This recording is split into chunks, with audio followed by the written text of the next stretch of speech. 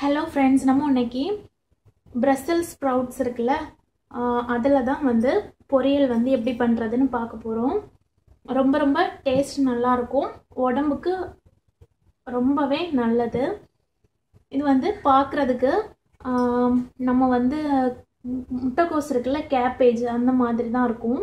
Mini cabbage மாதிரி இருக்கும் பார்க்குறதுக்கு.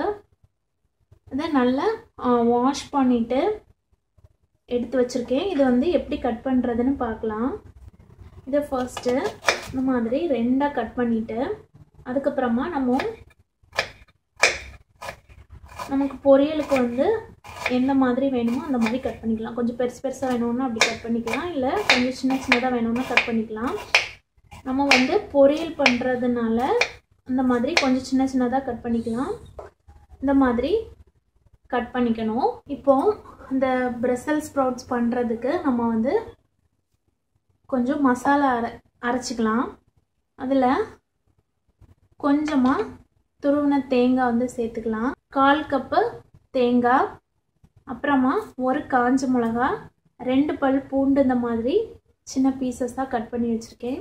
அப்புறமா கால் டீஸ்பூன் சோம்பு ஒரு டீஸ்பூன் ஜீரகம் அரை டீஸ்பூன் மஞ்சள் தூள். இதை சேர்த்து கொஞ்சம் குறை குறைப்பாக நம்ம வந்து இதை அரைச்சி எடுத்துக்கலாம். பாருங்கள் இந்த மாதிரி கொஞ்சம் குறை குறைப்பாக அரைச்சி எடுத்தாச்சு. இப்போது பொரியல் எப்படி பண்ணுறதுன்னு பார்க்கலாம். இப்போது ஒரு பேனில் ரெண்டு டீஸ்பூன் ஆயில் சேர்த்துக்கலாம். ஆயில் சூடானதும் கால் டீஸ்பூன் கடுகு கால் டீஸ்பூன் சோம்பு சேர்த்து இந்த கடுகும் சோம்பும் பொரிஞ்சதும் ஒரு டீஸ்பூன் உளுந்தம்பருப்பு ஒரு டீஸ்பூன் கடலைப்பருப்பு எடுத்து வச்சுருக்கேன். அதை சேர்த்துடலாம். மூணு காஞ்ச மிளகா கொஞ்சம் கருவேப்பிலை சேர்த்துக்கலாம். நம்ம சோம்பெல்லாம் சேர்த்துக்கிறதுனால நல்லா வாசனையாக சூப்பராக இருக்கும் டேஸ்ட்டு. இப்போ இதில் ஒரு பச்சை மிளகாவும் ஒரு பெரிய வெங்காயமும் சின்ன சின்னதாக கட் பண்ணி வச்சுருக்கேன். அதை சேர்த்துடலாம். சேர்த்துட்டு வெங்காயம் வதங்குறதுக்காக கொஞ்சமாக சால்ட் ஆட் பண்ணிக்கலாம்.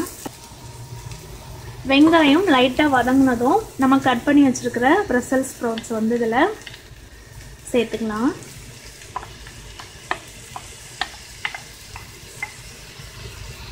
இப்போது எல்லாம் நல்லா கலந்து விட்டுட்டு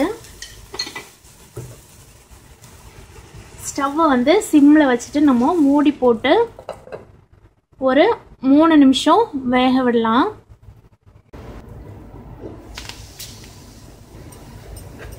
இப்போ பிரசல் ஸ்ப்ரவுட்ஸ் எல்லாம் நல்லா வெந்துடுச்சு.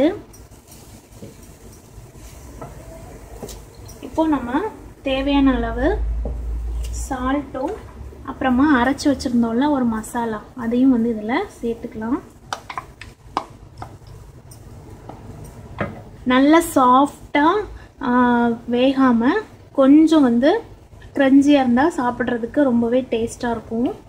நம்ம ஆட் பண்ண சால்ட் மசாலாலாம் நல்லா கலந்து விட்டாச்சு. ட்ரையாக இருந்துச்சுன்னா ரொம்பவே நல்லாயிருக்கும் அதனால் ஒரு ரெண்டு நிமிஷம் வச்சு நம்ம கிளறிட்டு இறக்கிடலாம். இப்போ பாருங்கள் நல்லா ட்ரையாக அழகாக சூப்பராக நம்மளோட ப்ரசல் ஸ்ப்ரவுட்ஸ் பொரியல் வந்து ரெடி ஆயிடுச்சு. இது வந்து உடம்புக்கு ரொம்பவே நல்லதுங்க.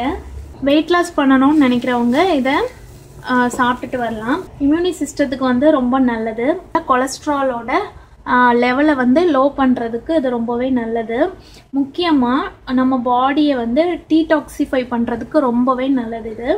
அப்புறமா ஹார்ட்டுக்கு பிரெயினுக்கு எல்லாத்துக்குமே ரொம்ப நல்லது. போனுக்கு நல்லது. இதில் வந்து நிறையவே விட்டமின் சி இருக்குது ஆன்டி ஆக்சிடென்ட் இருக்குது ஃபாலிக் ஆசிட் இருக்குது ஸோ ரொம்ப ரொம்ப ஹெல்த்தியான ஒரு வெஜிடபிள் தான் இந்த பிரசல் ஸ்ப்ரவுட்ஸ் நீங்களும் எல்லாரும் கண்டிப்பாக ட்ரை பண்ணி பாருங்கள் ரொம்ப டேஸ்ட்டாக இருக்கும். அதே சமயம் ரொம்பவே ஹெல்த்தியான ஒரு ரெசிபி தான் இது.